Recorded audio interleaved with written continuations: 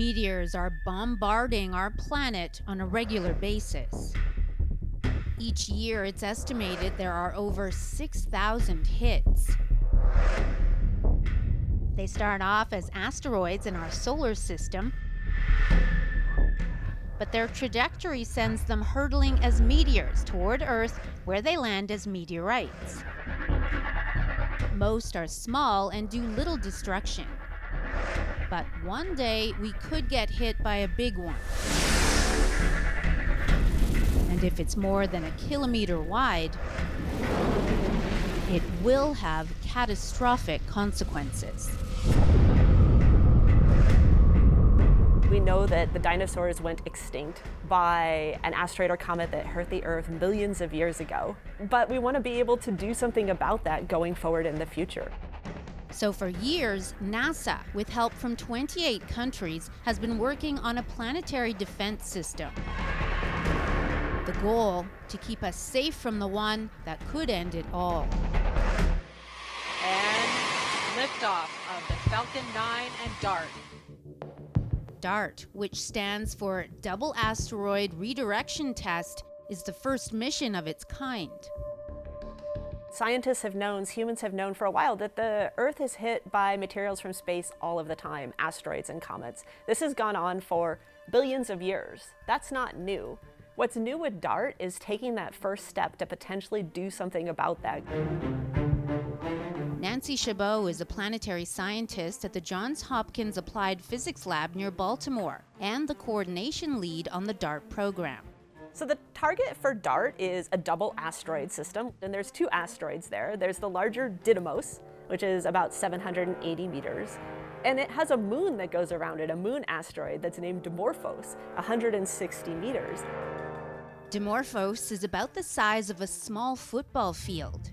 The plan send a spacecraft with a body that's about the size of a vending machine and slam it into Dimorphos and knock it off course, something that's never been done before. And so this this whole challenge of hitting a small asteroid when it's 11 million kilometers away, when you have very little information about what this asteroid looks like at all, and doing all of that autonomously so, the scientists at Johns Hopkins developed a way the spacecraft could guide itself to the intended target. It's called SmartNav.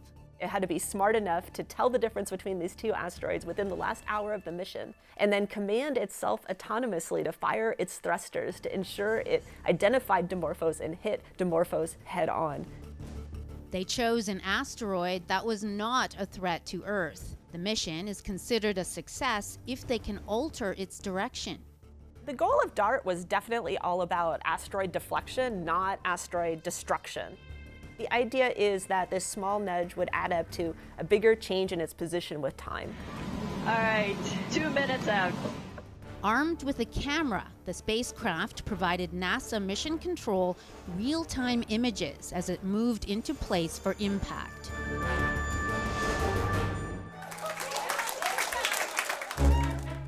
It successfully collided with an asteroid on September 26, 2022, becoming humanity's first demonstration of asteroid deflection. It's uh, terribly exciting that we've taken this first step in what's called planetary defense. And it turns out the DART spacecraft did a better job than anticipated. It significantly changed the asteroid's direction.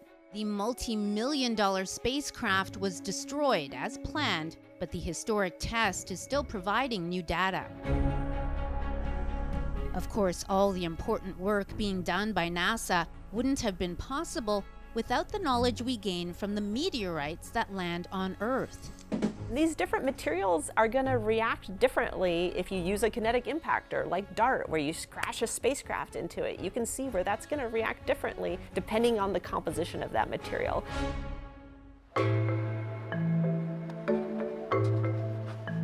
One of the thousands of meteorites landing here on Earth crashed through this roof in Golden, British Columbia.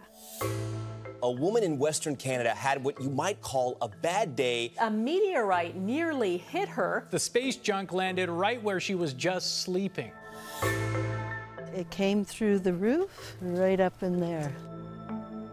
Ruth Hamilton was centimeters away from being fatally struck by the space rock.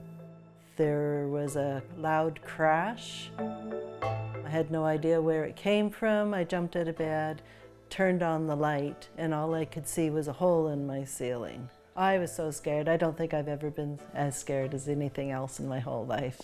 At first, she didn't realize what she was dealing with. Well, at the time, I didn't know how special it was because it was just a rock at that time. And then um, later on, once we figured out it was a meteorite.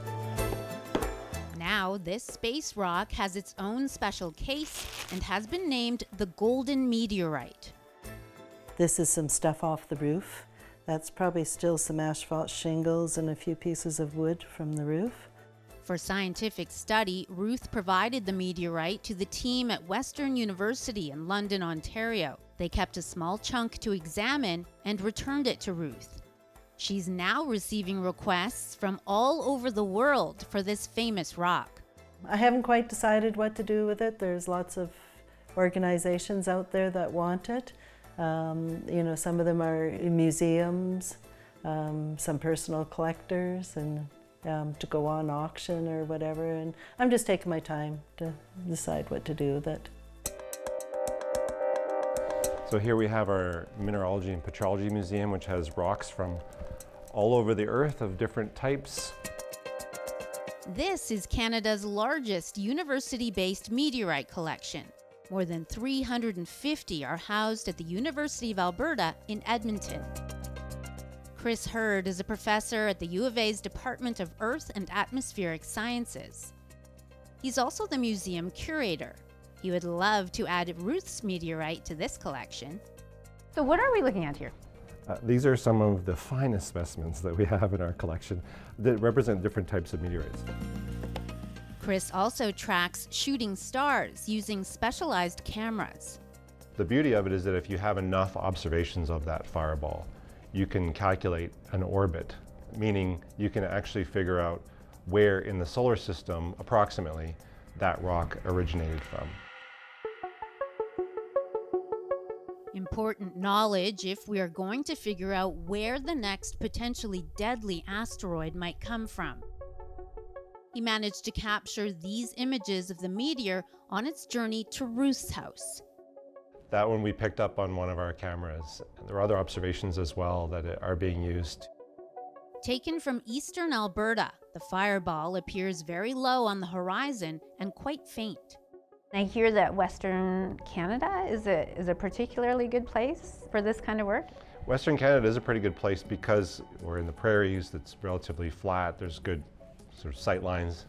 And also because of the land use in this part of the world is mostly far, uh, farming and you know and ranching. If something does fall, then the chances are better of actually getting out and finding it on the surface and being able to collect it.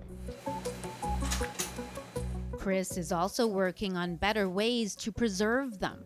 Which includes things like keeping them cold and keeping them out of the Earth's atmosphere and things like that so that they are better preserved over the long term. Recently, he was sent part of a 15 ton meteorite that fell in Somalia, and what he discovered was quite surprising. There were some unusual looking minerals inside, really minerals that I couldn't identify.